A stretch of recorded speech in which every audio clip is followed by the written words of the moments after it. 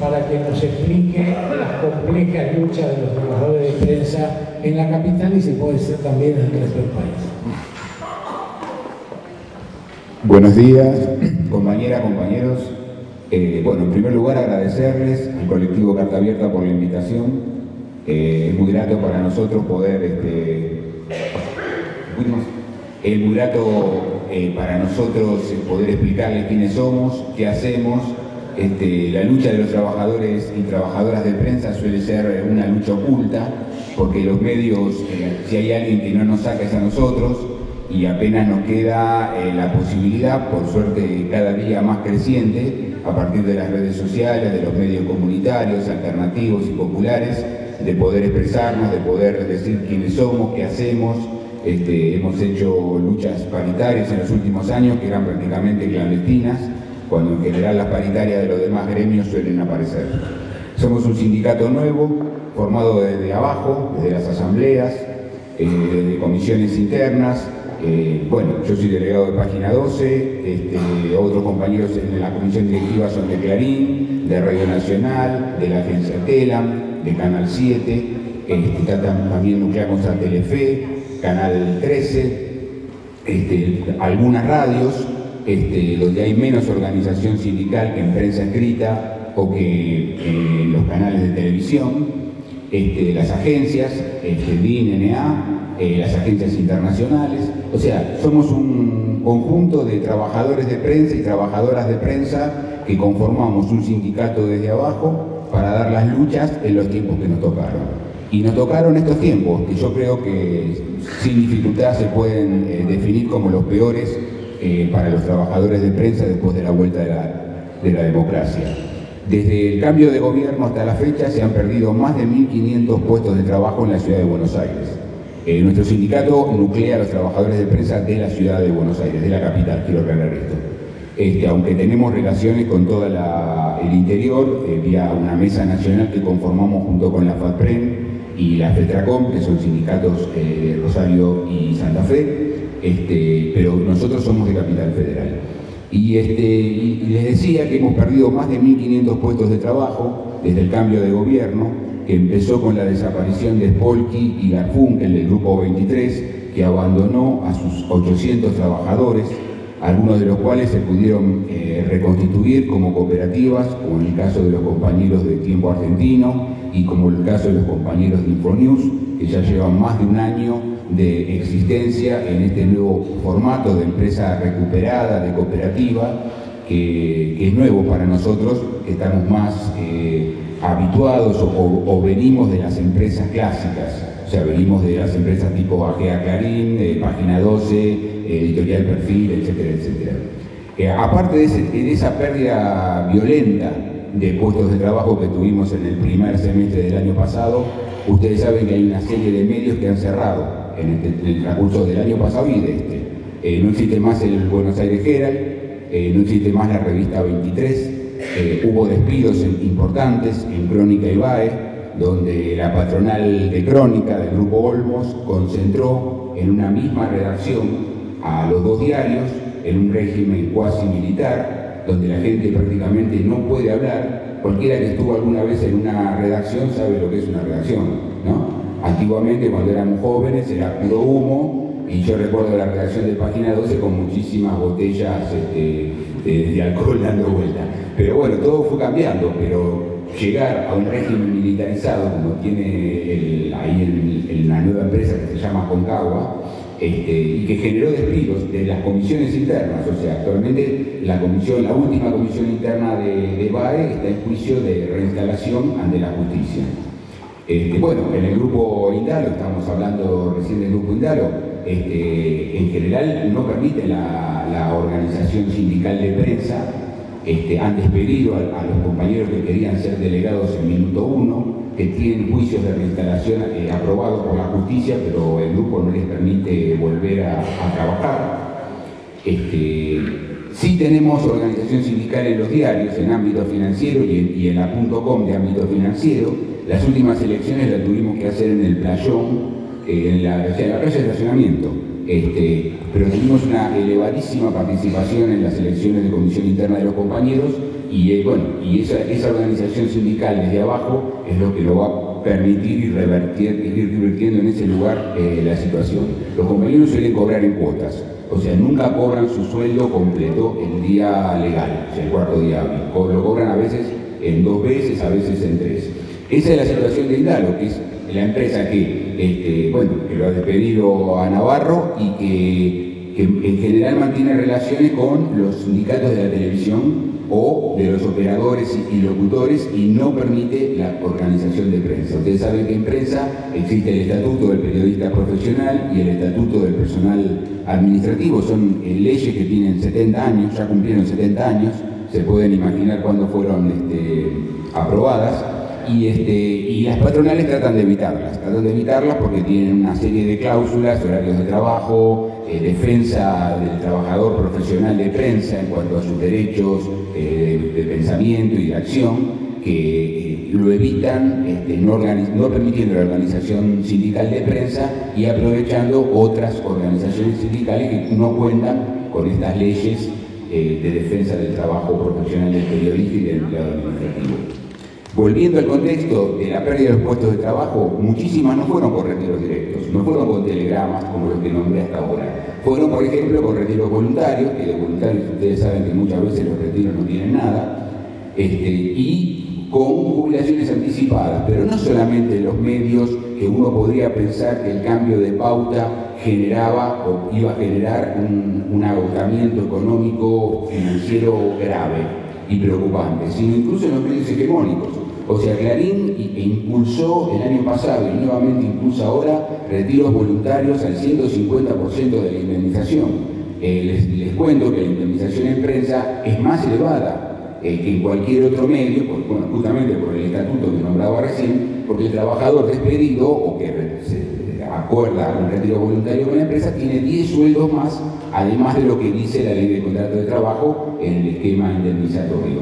Este, y Clarín ofrece el 150 y lo ofreció el año pasado y lo está volviendo a ofrecer. Y la Nación también tiene permanentes planes de retiro voluntario y de jubilación anticipada. Digo esto como ejemplo que no es solamente aquellos medios que fueron acogotados por la política del gobierno en la pauta oficial que eh, han padecido este, situaciones de cierre o de achicamiento, sino también los medios hegemónicos buscan por otros medios lo mismo.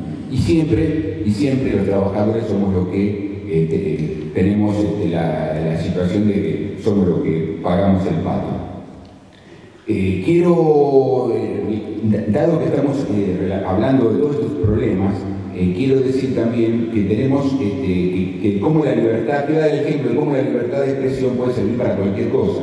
nosotros a fin de octubre tenemos un juicio de la Comisión Interna de Prensa del Editorial Perfil acusado de, violar la libertad de expresión, cuando en realidad estaban haciendo una pelea genial por pérdida de puestos de trabajo. Eh, esto es una historia vieja porque fue en el 2013, nosotros incluso no, existíamos todavía como sindicatos, sino éramos un presindicato conformado en un plenario autoconvocado. Este, y eh, los compañeros, eh, en un día que tenían elecciones de comisión interna, eh, la empresa produce despidos, una clara actitud de, ir directamente contra la actividad sindical. Eso genera una lucha, hay conciliaciones obligatorias, paro, bueno, lo que suele suceder en un conflicto, y entre ellos, entre las cosas, a fin de año hacen una actividad junto con los gráficos en la puerta, en barracas, en la puerta de la, imprenta. Bueno, al final los compañeros son despedidos, pero son reincorporados por un fallo eh, de la justicia consideran que era todo, era la Junta Electoral, por ejemplo, todos compañeros que claramente estaban despedidos con una actividad sindical. Entonces, este, bueno, son reincorporados a la editorial, la editorial acepta la reincorporación y los compañeros siguen trabajando.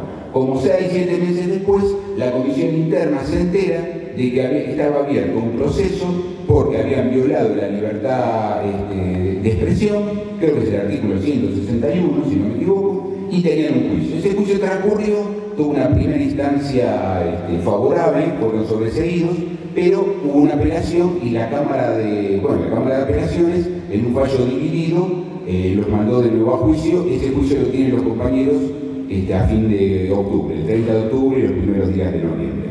Digo esto como un ejemplo de cómo todo, todo se engancha Y también se engancha con la represión que estábamos nombrando recién, que estaban hablando los compañeros recién. Este, ustedes eh, piensen que los 31 eh, detenidos de la noche del 1 de septiembre, después de la movilización impresionante que, realizamos eh, en Capital Federal por la aparición con vida de Santiago Maldonado, seis de esos compañeros y compañeras detenidas estaban haciendo algún tipo de actividad de prensa. Había compañeros de AMREC, había compañeras sacando fotos, había alguien que sacó fotos con su celular porque vio que otra persona estaba detenida porque era estudiante eh, de fotoperiodismo. O sea, este, donde gasearon a los compañeros de Canal 7, donde reprimieron con balas de goma a una compañera notera de Canal 13, que son medios claramente desconocidos, identificados, y donde filmaron a todos los trabajadores de prensa y trabajadoras de prensa que estaban trabajando en Avenida de Mayo cuando se produce la represión después de la marcha.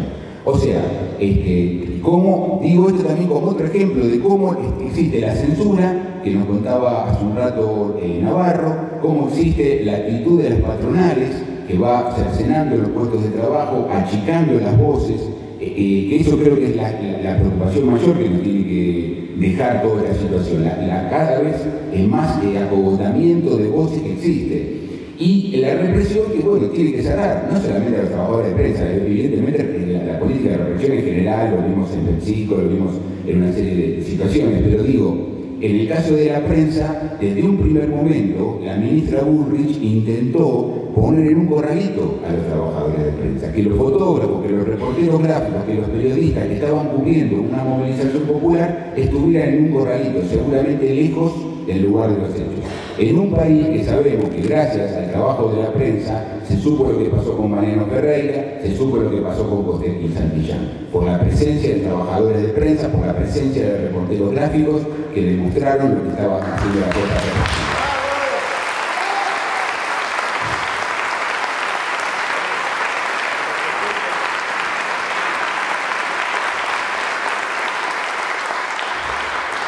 Eh, volviendo al, trabajo cotidiano eh, de las redacciones y a, cómo pega, cómo rebota, cómo perjudica la política de este gobierno, eh, imaginándome que, en esta sala hay muchos lectores de página 12, todos. Voy a, bueno, voy a, explicar un poco, porque también yo soy delegado de Página 12 y ustedes pueden decir que yo soy uno de los locos de Página 12 que, toma medidas de fuerza, ¿eh? que, hace paro, que hace paro de 48 horas el día de las pasos. Eh, nosotros somos trabajadores, somos trabajadoras y estamos, este, defendemos, defendemos nuestro trabajo, defendemos nuestras condiciones de trabajo, defendemos nuestro medio. Por eso también decimos que estamos siendo apretados este, por este gobierno. Este, no creemos que el problema sea el nuevo dueño de Página 12, Víctor Santa María, sino que el problema es que eh, Víctor Santa María es el dueño de Página 12. Y lo que quiere este gobierno es que no haya investigaciones del pueblo de Horacio Berlinski y de todos los compañeros que en Página 12 tratan de investigar eh, tanto al gobierno o las situaciones que el gobierno genera en cualquier campo, de la cultura, de la política, de la economía. Entonces, este, nosotros tenemos una situación difícil y compleja y por eso, si me permite, voy a tratar de explicar. Voy a tomar un poquito de tiempo para explicarlo, porque eh, un lector de página 12 puede cuestionar, puede cuestionar, es decir, ustedes este, no se dan cuenta que es uno de los pocos medios opositores que existen, ustedes están haciendo reclamos. Bueno, nosotros el año pasado perdimos, nosotros no tenemos sueldos altos, quiero aclarar. La tropa de página 12 no tiene sueldos altos. Este, y el año pasado solamente perdimos un 15% de nuestro salario, de nuestro nivel salarial peleamos todo el año, porque peleamos todo el año. Hicimos ocho paros, tuvimos dos consideraciones obligatorias.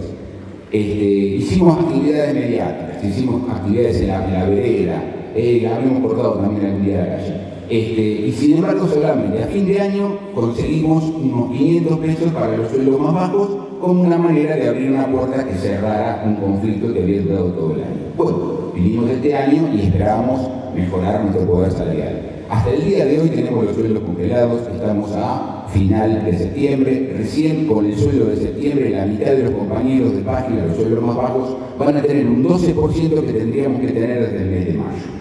Eso generó eh, medidas de fuerza, hicimos tres paros al cierre, un paro de 24 horas y un paro de 48, que fue sin duda la medida más fuerte, eh, salvo el conflicto del 95, que tuvimos casi un mes seguido de paro por tiempo indeterminado por los despidos, yo creo que la medida del día de las pasos, de las 48 de las pasos, debe haber sido la medida más fuerte que tomamos.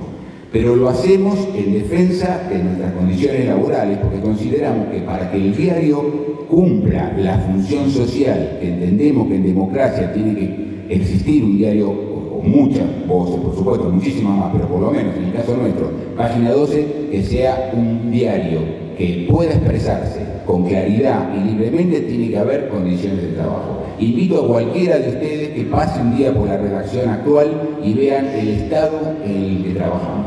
¿Por qué? Porque se empezó a hacer una mudanza y se suspendió.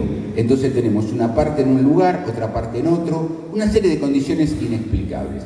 Pese a eso, cuando se produce el apriete de, bueno, ya que fue, nombrado este Fantino, de Fantino por, por, hablando, que pobrecito, tampoco ni puedo explicarlo bien, entonces dice, eh, junta dos cosas que no tienen ningún sentido, ni, es una clara, una clara operación termina diciendo que, bueno, que Santa María el lunes le va a saltar no sé qué ficha, en realidad fue una editorial de la Nación eh, del martes.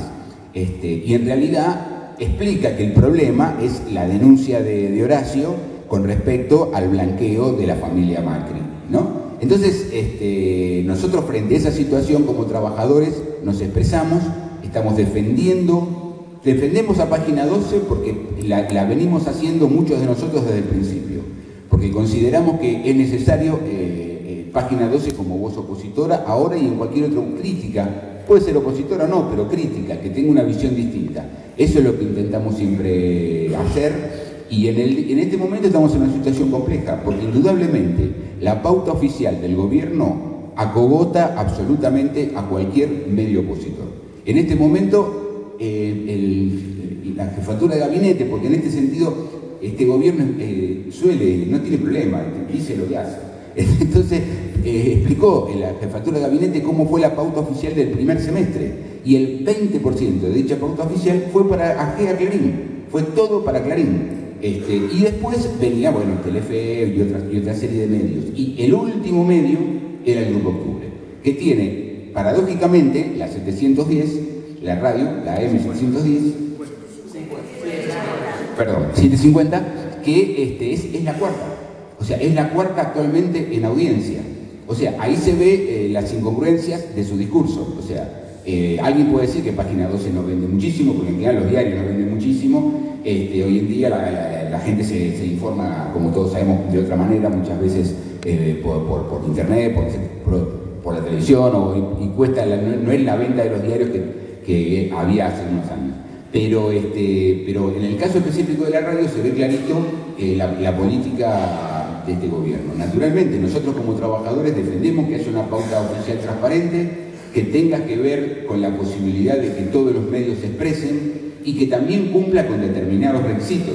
O sea, que se le dé pauta oficial al medio que no echa gente, que se le dé pauta oficial al medio que respeta el estatuto, respeta los convenios, este, paga en términos, cosa que últimamente eh, en este país dejó de suceder. En las radios, la mayoría de las radios o varias de las radios, además de haber despidos, hay, como en Radio del Plata, hace un conflicto de larguísima data, este, porque no les pagan. En este momento están, los compañeros están cobrando el mes de mayo, el mes de mayo.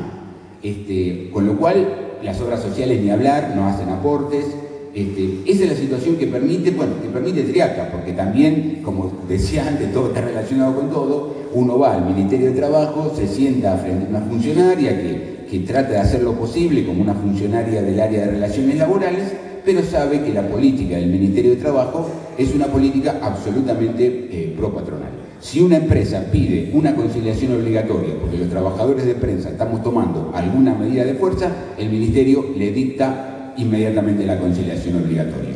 Nosotros tuvimos despidos en la editorial Atlántida, pedimos la conciliación obligatoria, haciendo paro los compañeros editorial Atlántida, y el Ministerio de Trabajo no dictó ninguna conciliación obligatoria. O sea que está la censura, está la represión, está la, política de, que haya menos voces, Eh, hace un par de semanas estuve con los compañeros de Farco, que son las radios comunitarias, en una movilización frente al ENACOM, donde, ¿cuál es el reclamo de ellos? Este, el gobierno no les da, no les, ni siquiera presupuestos que tiene votados para los medios este, comunitarios. O sea, del año pasado y de este no eh, resuelve la transferencia de, cosas que ya están, de plata que tienen.